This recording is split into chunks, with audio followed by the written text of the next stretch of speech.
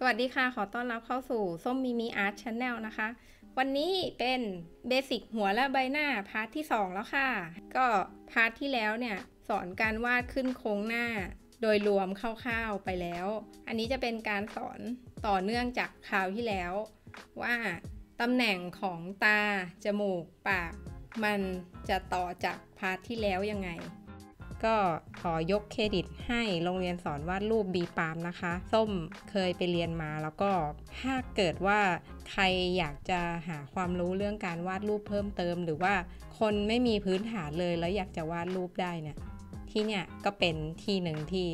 ส้มอยากจะแนะนำเลย เพราะว่าไปเรียนมาแล้วเขาสอนดีมาก เขาจะปูพื้นฐานให้แข็งแรงก่อน แล้วหลังจากนั้นน่ะเราก็ไปต่อยอดฝึกอะไรที่เราอยากฝึกเพิ่มเติมได้ ง่ายขึ้น ดีมาก ๆ เลยค่ะ แนะนำเลย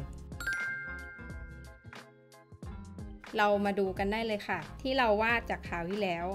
ตัวอย่างเส้นที่เพิ่มมา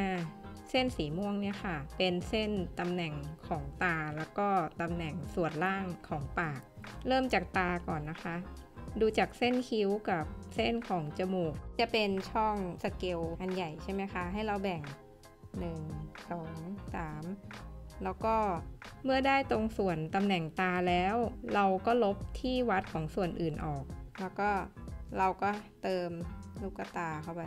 ลูกตาก็คือเป็นทั้งลูกเลยนะคะ ที่เป็นตาไอบอลอะค่ะ ต่อไปส่วนของคิ้วนะคะ มันจะไกด์ว่าคิ้วมันจะอยู่แถวนี้นะคะ แต่ว่าไม่ได้หมายความว่าเราวาดคิ้วที่มันเป็นแบบเรียบๆอย่างนี้ มันจะโก่งขึ้นมาช่วงท้ายก็ได้ค่ะ เสร็จแล้วจากช่วงของของหัวคิ้วสองข้างเนี่ย เราก็ตีเส้นลงมา ตรงนี้มันก็จะเป็นจุดเริ่มต้นของของดั้งเราใช่ไหมคะ แล้วเราก็ลากเส้นตรงมา เป็นเส้นจมูก เส้นยอดจมูกตรงนี้ก็กะโดยประมาณที่เห็นนี้นะคะ แถวนี้ก็คือเป็นใต้สุดของจมูกใช่ไหมคะ มันก็จะมีรูจมูกอยู่ ตรงจมูกก็ให้ตีออกมาเป็นเส้นสี่เหลี่ยมคางหมู แล้วก็จากจุดกำเนิดดั้งตรงนี้ให้เรายิงยิงลงมามันก็จะเป็นหัวตา มันก็จะบรรจบกับไอบอลเสร็จแล้วเราวาดตาดำไกด์ออกมาก่อนก็ได้นะคะ แล้วหัวตาเนี่ย มันก็จะบรรจบกับปีกจมูก ก็คือจากหัวตาลงมา ถึงปีกจมูกก็จะพอดีกัน ลักษณะนี้แล้วจากหัวตาเนี่ย เราก็วาดเป็นเปลือกตาเรา ก็มาดูปากนะคะว่าปากเนี่ยจากสัดส่วนของจมูกมาที่คาง แล้วตรงกึ่งกลางก็คือเป็นล่างสุดของริมฝีปากใช่ไหมคะ แล้วกึ่งกลางของช่วงนี้มันก็คือปากของเรา มุมปากสองข้าง เขาจะวัดจากลูกตาดำนะคะยิงลงมา มันก็จะเป็นมุมปากพอดี ส่วนริมฝีปากก็จะมีลักษณะประมาณนี้นะคะ ส่วนล่างสุดของปากมันจะมีล่องเข้าไปหน่อยหนึ่งก็คือจะอยู่ในตำแหน่งที่เห็นนี้เลย จากปีกจมูก ให้ยิงลงมา ที่มุมปากแล้วก็วนอย่างนี้ค่ะ มันก็จะเป็นกล้ามเนื้อในส่วนของร่องแก้ม แล้วก็จะมีส่วนของใต้ริมฝีปากวนที่คาง ให้มันมีความรู้สึกว่าคางเราเป็นทรงนูนๆออกมา แล้วก็จากหัวตาลงมา จะเฉียงลงมาในลักษณะนี้ ส่วนนี้ค่ะมันก็จะเป็นจุดจุดที่มันเป็นกล้ามเนื้อในส่วนของของข้างจมูก เสร็จแล้วเราก็จะมีเส้นที่ยิงจากจุดตรงนี้ ยิงเฉียงออกมา มันก็จะเป็นกล้ามเนื้อในส่วนของด้านข้างของหน้าผากและปลายคิ้ว แล้วก็จากเส้นข้างหน้าผากจะมีเส้นรอบเบ้าตาด้านล่างด้วยค่ะ ตามภาพนี้เลย เส้นปลายคิ้วที่อ้อมไปถึงหู ตรงนี้จะเห็นยากนิดนึงนะคะ แต่จะเห็นได้ชัดตอนที่ดูด้านข้างค่ะ มันก็จะยิงข้างแก้มออกมาแบบนี้ เราก็จะเข้าใจว่าส่วนตรงนี้มันก็จะเป็นหนกแก้ม เวลาเราแรงเงา ตรงนี้เราก็จะได้รู้ว่า ควรจะแรงเงาถึงประมาณไหน แล้วก็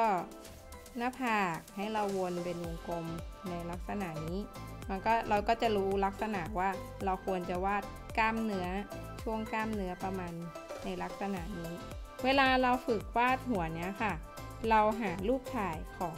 คนจริงๆ มาดูแล้วก็วาดก็คือเหมือน analyze วิเคราะห์หน้าของรูปถ่ายของเขาอะแล้วก็ลองเอามาขึ้นเส้นแบบนี้ดู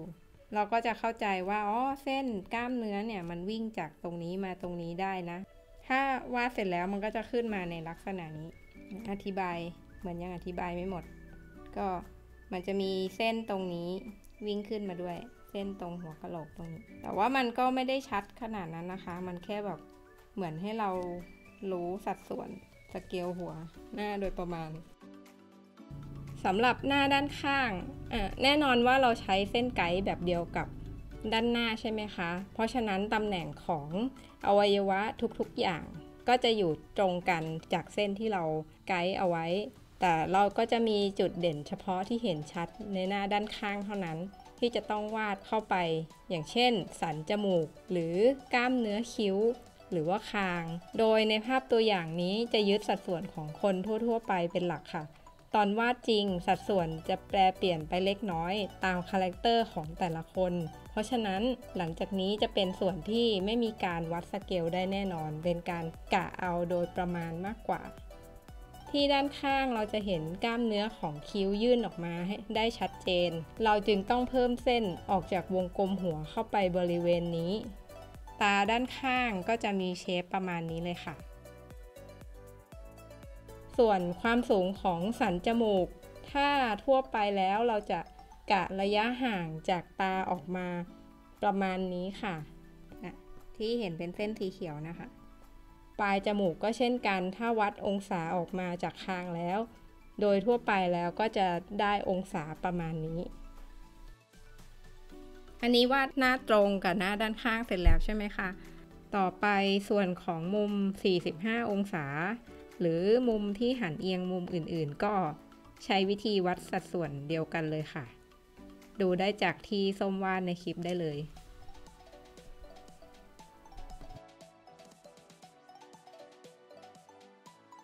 มันจะมีในส่วนของ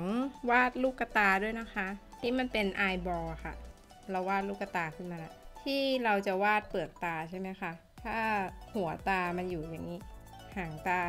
อยู่ตรงนี้ค่ะ ให้เราวาดเป็นไกด์ส่งกลมของลูกบอลคล้ายๆ ที่เราวาดกระโหลกนี่แหละค่ะ มันจะทำให้เรากำหนดเปลือกตาได้ง่ายกว่า ให้มันมีความโค้งนูน แล้วเราก็จะรู้ด้วยว่าที่มันเป็นเปลือกตาล่างกับเปลือกตาบน เราจะวนยังไง ถ้าเราดูคลิปนี้แล้วอะเราลองไปหา reference รูปถ่ายใบหน้าของคนที่เขาโครงหน้าค่อนข้างดูชัดนิดนึงอย่างพวกฝรั่งก็ได้นะคะ ฝรั่งเขาโครงหน้าจะค่อนข้างชัด ก็ให้เอารูปถ่ายเขามา ลองมาวาดขึ้นโครงตั้งแต่เหมือนที่สอนไปพาร์ทแรกอะค่ะ ขึ้นโครงเป็นโดยรวมก่อนว่าเขาหันไปทางไหน และแบ่งสเกล3ส่วนให้ถูกต้องเท่ากัน แล้วก็ค่อยวาดเติมใบหน้าเข้าไป แล้วก็ analyze ใบหน้าเขาไปด้วยว่า เส้นจากเส้นจุดนี้ไปจุดนี้ต้องยิงไปยังไงในลักษณะไหน แล้วก็ทำซ้ำบ่อยๆ ค่ะ อย่างของที่ส้มฝึกวาดเนี่ย ก็ทำวิธีเนี้ย เริ่มต้นวาดซ้ำไป 30 หัวได้ วาดจนกว่าจะจำเส้นที่ลากเนี่ยได้ขึ้นใจ เสร็จแล้วหลังจากนี้พอวาดเนี่ยเราก็อาจจะย้ำเส้นพวกนี้น้อยลง จนสุดท้ายเนี่ยอาจจะไม่ต้องวิ่งเส้นละเอียดยิบขนาดนี้ก็ได้ เพราะว่าเหมือนกับเราเริ่มชินในการล่างภาพไปแล้ว เราก็มาเช็คแค่ตำแหน่ง เฉยๆว่ามันถูกต้องไหม อย่างตอนนี้ที่ต้มล่างภาพพวกหน้าคนนะคะ ก็เส้นพวกนี้ที่วาดเนี่ยก็คือไม่ได้วาดทั้งหมดแต่ว่าถ้าตรงไหนที่เรารู้สึกว่ามันแปลกๆทำไมมันเบี้ยวจัง เราก็ค่อย เอาเส้นพวกนี้มาเช็คดูว่ามันผิดพลาดตรงไหน proportion มันมันอยู่ถูกจุดหรือเปล่า ก็นี้จะมีตัวอย่างนะคะที่ส้มฝึกอยู่ในสมุดสเก็ต ก็ถ่ายมาให้ดูว่าฝึกแบบนี้ละค่ะตอนเริ่มต้นฝึกประมาณ 30 หัว เดี๋ยวรูปที่เป็นตัวอย่างว่าเส้นวัดสเกลเนี่ย จะแจกลิงก์ไว้ให้นะคะ ก็เอาไปโหลดดูเป็นไกด์ได้เลย ก็จบไปแล้วนะคะ ถ้า part หน้าเนี่ย เดี๋ยวเรามาต่อกันในเรื่องของวาดแบบนี้เนี่ย แล้วเราจะเอามาลดทอนทำให้มันเป็นแนวอื่น แนวการ์ตูน แนวอนิเมะได้ยังไง ก็ขอบคุณนะคะที่ดูคลิปกันจนจบ ใครที่ชอบก็กดไลค์ กดแชร์ กด Subscribe แล้วก็ฝากกดกระดิ่งแจ้งเตือนเผื่อมีคลิปใหม่ๆ ให้เรามาดูกัน ขอบคุณมากๆเลยค่ะที่ติดตามสำหรับวันนี้ก็ขอลาไปก่อน ขอบคุณมากเลยนะคะ บ๊ายบาย